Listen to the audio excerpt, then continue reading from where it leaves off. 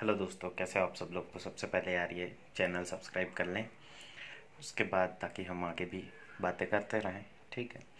तो यार एक बहुत बार ये कमेंट आया कि M C night power oil का जो है मैं इंग्रेडिएंट्स बताऊँ और उनके क्या क्या फ़ायदे हैं। तो उसके जो इंग्रेडिएंट्स हैं अगर मैं एक एक करके गिनाऊँ तो आप सबके बेनिफिट्स आपके दिमाग में खुद आएँगे। अगर आप आप इन आप अपने मतलब इरेक्टाइल डिसफंक्शन या कि फिर साइज़ को लेके आप इतना दिन से अगर देख रहे हैं तो हर एक इंग्रेडिएंट जो है आपको उसका समझ में आएगा कि वो सिर्फ़ और सिर्फ़ इसी के लिए बना ही है।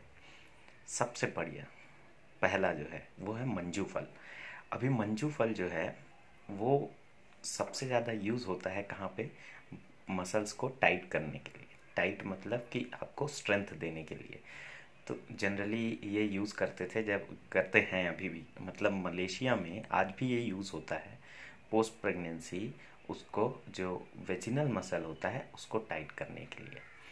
तो ये तो मंजू फल है। तो अगर आपके लिंग में कोई प्रॉब्लम है तो वो डेफिनेटली वो उसके जो है आपके मसल्स को स्ट्रेंथ करके उसको टाइट करेगा। दूसरा है एलोवेरा एलोवेरा तो सबको पता है कि वो स्किन से रिलेटेड जितने भी आपके स्किन में कोई प्रॉब्लम्स हैं या कि फिर जो आपका स्किन का जो रफनेस है, उसको ख़त्म करने के लिए होता है। तो ये है। उसके बाद है लौंग। लौंग का जो तेल है, वो हमेशा से यूज़ होते आ रहा है। मतलब आपके नॉर्मल मसाज में आप उसको यूज़ करते आए होंगे। लौंग का तेल जो है, वो आपको पेन भी कम करने में मदद करता है। आपके मसल्स में जो है थोड़ा सा स्ट्रेंथ देता है, उनको रिपेयर करता है तो वो काम करता है लौंग का।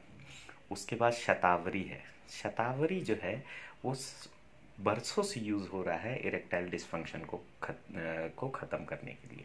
जिनको भी इरेक्टाइल डिसफंक्शन का प्रॉब्लम रहता है वो सतावरी ज़रूर जानते होंगे कि वो इसके लिए यूज़ होता है।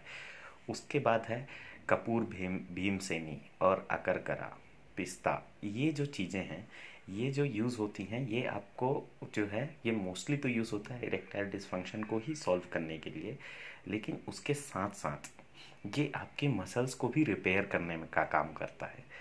उसके बाद है आपका खुरासनी अजवाइन। खुरासनी अजवाइन जो है, खुरासनी अजवाइन ऐसा है कि वो जो धतूरा सुने होंगे, कई लोगों ने सुना होगा, लेकिन धतूरा का क्या है, एक साइड इफ़ेक्ट भी होता है कि वो बहुत ज़्यादा आपको मतलब वो नशा टाइप से देता है तो वो इसलिए उससे बचते हैं लोग और यूज़ करते हैं इसको, जो है खुरासनी अजवाइन को। ये इंडिया के बाहर भी, यूनानी जितने भी हैं, यूनानी क्लिनिक्स में भी आप जाइए, इवन यूनानी जो हकीम होंगे, वो भी आपको इसके बारे में ज़रूर बताएँगे, क्योंकि यूनानी सभ्यता में ये बहुत ज़्यादा यूज़ होता था, खुरासनी अजवाइन। और ये आपको जो लिंग से रिलेटेड जितने भी प्रॉब्लम्स होते हैं, यूरिन प्रॉब्लम्स हैं, ये, या कि फिर इरेक्टाइल डिसफंक्शन के प्रॉब्लम हैं, उन सबको सॉल्व करने के लिए जो यूनानी सभ्यता में ये सबसे ज़्यादा प्रचलित है, सबसे ज़्यादा इसका यूज़ करते हैं लोग, खुरासनी अजवाइन का।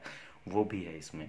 उसके ऊपर है जैतून का तेल ऑलिव ऑयल ये तो आपको पता ही होगा कि ये कितना ज़्यादा प्योरेस्ट फॉर्म होता है, सबसे अच्छा होता है। आपके लिए अगर आप इसको यूज़ करते हैं तो इवन अपने सिर्फ़ लिंग के लिए नहीं, आपके सारे स्किन से रिलेटेड प्रॉब्लम्स के लिए इवन आपकी नसों से रिलेटेड प्रॉब्लम्स के लिए आप जैतून का तेल का यूज़ करते हैं। तिल का तेल, तिल का तेल जो है वो भी इसीलिए यूज़ होता है कि वो एक तो आपके जो नसें हैं, उनको स्ट्रेंथ देता है। तो जो तिल का तेल है, जैतून का तेल है, वो इसमें मिक्स है और तीसरा है लौंग का तेल। ये तीनों तेल जो हैं, इन तीनों का मिक्सचर मतलब सबसे, अगर आप देखेंगे तो सबसे अच्छा है।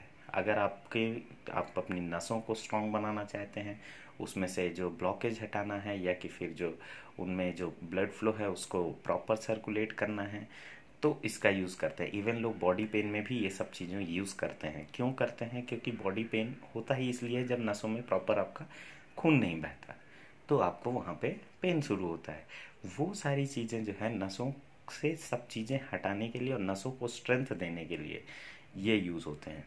तो ये तो है इसके जो मेन इंग्रेडिएंट्स हैं मेजर इंग्रेडिएंट्स और सब के सब इंग्रेडिएंट्स जो है, वो आपकी या तो नसों को सही करने के लिए होती हैं, या तो आपको स्किन के लिए सही करने के लिए होती हैं, या तो आपके इरेक्टाइल डिसफंक्शन को सॉल्व करने के लिए होती हैं।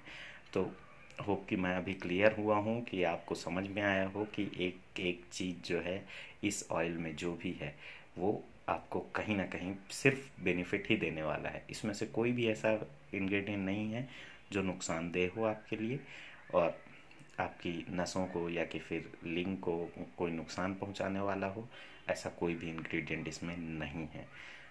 तो धन्यवाद दोस्तों, अगर अभी भी कुछ डाउट है तो प्लीज़ कमेंट बॉक्स में कमेंट करें।